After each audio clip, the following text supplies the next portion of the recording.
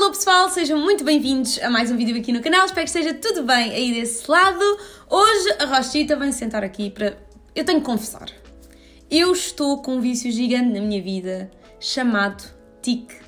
TikTok. Em minha defesa, eu acho que as pessoas ainda não perceberam o quão bom é o TikTok, porque eu já encontrei várias informações bastante interessantes, desde maquilhagem, desde empreendedorismo, hacks da vida, coisas que são simples de fazer em casa e, obviamente, as dancinhas divertidas e as pessoas serem o mais livre possíveis na internet. Eu acho que o TikTok dá muito essa liberdade, as pessoas são muito mais cruas e muito mais reais e é por isso que eu tenho andado tão apaixonada pela aplicação.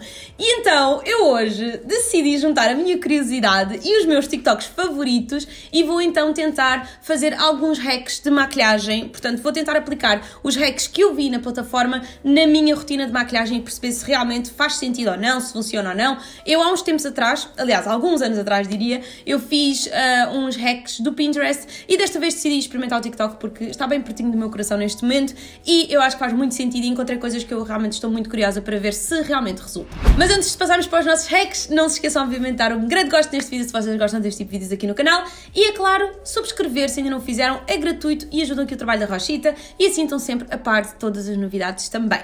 Por isso, bora começar. Eu tenho aqui o meu tablet uh, para ser mais prático e tenho aqui também, então, guardado, eu guardei nos meus favoritos, nos meus gostos, por assim dizer, uh, todos os vídeos que eu encontrei que faziam sentido de incluir na minha rotina.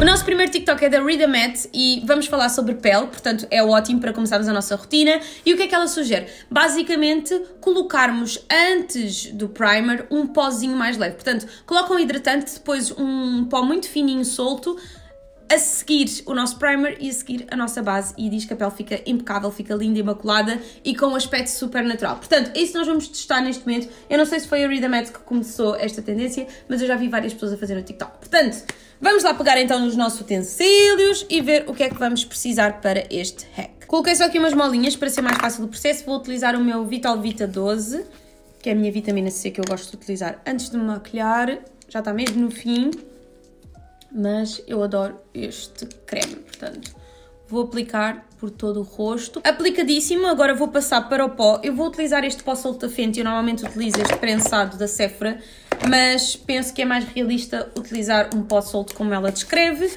Por isso, vou pegar num pincel assim fofinho, para não depositar muito produto na pele, e vou então passar assim muito levemente o pó. Para primer eu hoje vou utilizar este da Kiko, que é assim bem luminoso, ele é maravilhoso, eu gosto muito deste primer. E vou aplicar então em todo o rosto. Ele dá assim um efeito iluminado à pele. E quando eu sinto que a pele está assim um bocadinho mais tristonha, mais baça, eu aplico e parece logo que acordei com uma pele fresquinha. A base que eu vou utilizar é a Peach Perfect da Too Faced, que eu adoro esta base, é muito boa. Eu não estou nem a brincar, isto resulta mesmo bem. A minha pele está muito mais lisinha apesar de ficar. Parece que a base fica menos evidenciada e que a vossa pele fica com os poros minimizados. Girl. Girl. Hum. Consigo perceber. Consigo perfeitamente perceber o hype. Sério, experimentem. Porque a pele está incrível. Eu não sei se em câmera dá para perceber muito bem, mas a pele está com um aspecto super natural, mas ao mesmo tempo, e eu não estou a utilizar uma, uma base assim tão natural, estou a utilizar de cobertura média. Mas mesmo assim, consegue estar com um acabamento natural e a pele parece que está sem, sem os porzinhos a notar-se, parece que está filtrada. Ai, eu gostei muito disto. Ai, adoro! Não, não estou nem a brincar. Ao perto, ao longe, estou amando este truque. Eu acho que vou inserir isto na minha rotina de maquilhagem porque faz mesmo a diferença. E uma coisa que eu até estou a sentir é que a própria da base, o óleo que a base poderá ter, foi absorvido pelo pó. Não sei se isto faz muito sentido ou não, mas eu sinto a pele mais sequinha, sabem? Às vezes estas bases têm tendência a ficar um pouco mais oleosas na pele e depois vocês têm que passar o pó. a seguir, mas eu sinceramente nem estou a sentir necessidade de passar pó, porque está tão sequinha que parece mesmo que é a minha pele. A sério, amei este hack, como assim? O próximo hack é da Beauty Info e eu já tinha visto esta dica sem ser no TikTok, mas achei que seria pertinente aqui para o nosso vídeo que o que vocês têm que fazer é um contorno em formato de 3. Eu normalmente não o faço, sou sincera, acho que nunca testei fazer assim, em formato de 3, como o vídeo sugere, portanto, let's do it! Eu vou mesmo utilizar um pincel assim bem fofinho, como ela está a utilizar na imagem, e a paleta da Boca Rosa. Vou tirar aqui um bocadinho o excesso, porque este pó é pigmentado. E, portanto, ela começa na testa, puxa para baixo e depois vai assim. Vou tentar novamente, que eu gosto do contorno mais evidente. Assim, assim e assim.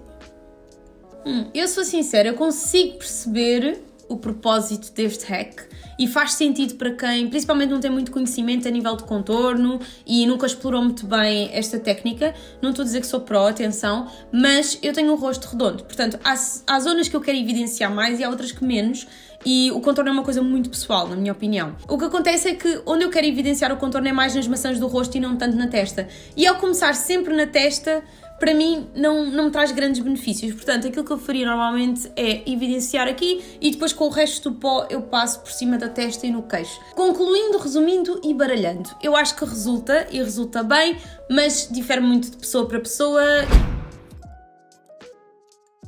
Vamos continuar na onda da pele e este é da Crisel Lim e eu até a sigo no YouTube, eu gosto imenso dela.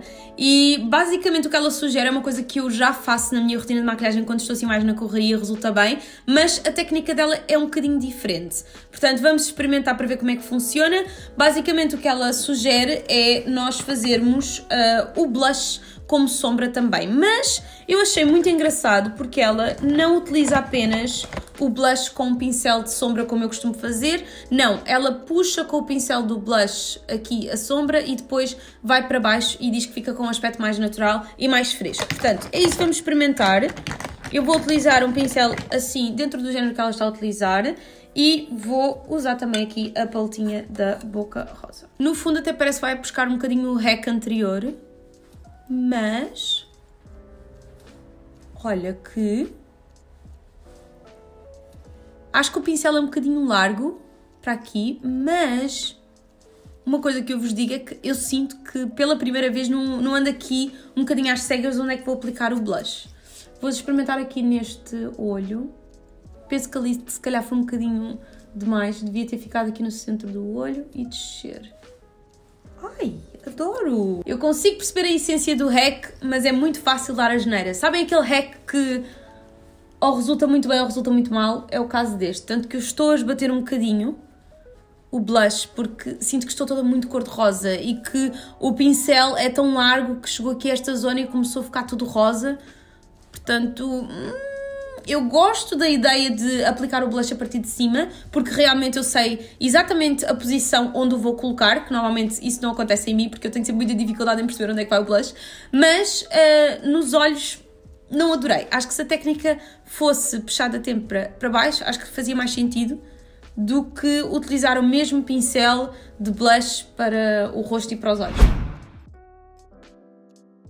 Vamos falar de iluminador, que é uma coisa que toda a gente adora. Eu, pelo menos, é uma das minhas partes favoritas da maquilhagem. E temos aqui uma sugestão que parte muito da ideia de colocar iluminador em zonas que normalmente não são colocadas para dar mais profundidade ao rosto e o rosto ficar mais iluminado e mais natural. Portanto, aquilo que é sugerido é aplicar aqui o iluminador um pouco mais abaixo e depois na pontinha do nariz e aqui em cima, que já é mais normal, e aqui na maçã do rosto, em vez de aplicarmos aqui em cima, aplicar mais no centro. E isto é mais para pessoas que têm o rosto redondo, portanto eu achei que era perfeito e vou então utilizar o iluminador aqui desta paletita também e este pincel, que é muito semelhante ao dela, by the way, e vou passar aqui em cima, que é uma coisa que eu já faço e adoro, principalmente para a correria é perfeito.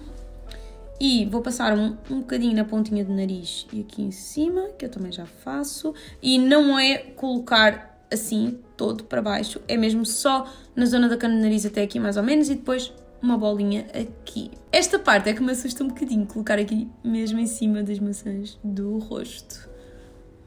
Hum. Ok. Hum.